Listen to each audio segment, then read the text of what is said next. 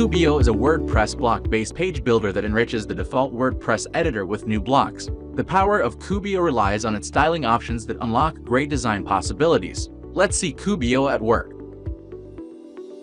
We are using the Elevate theme for the purpose of this exercise. After installing and activating Kubio, you can choose a predefined starter website.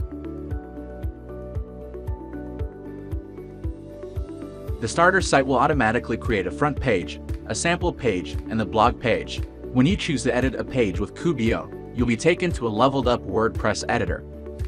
In the middle of the screen you have the actual website. To the left, you can access the navigational panel that allows you to move between pages, posts, and template parts.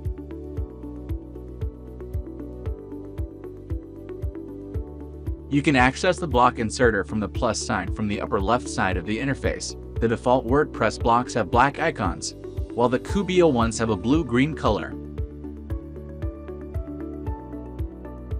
On the right-hand side, you'll be seeing an advanced editing panel with two main sections that allow you to make both page and block settings.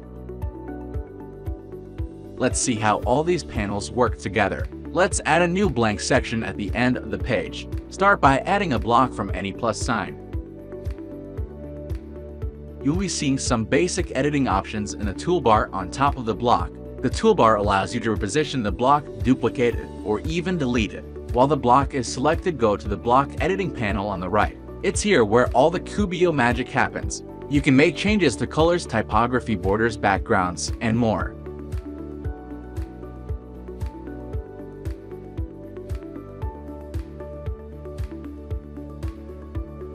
You can also add a predefined content section.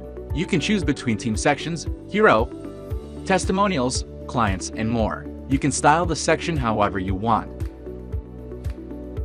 You can preview the look of your website on mobile and tablet, but also make changes that will show up only on a certain device. All the blocks and sections are mobile responsive by default. Don't forget to save the design from time to time. You can always undo and redo changes. Your turn now to create a web page using blocks.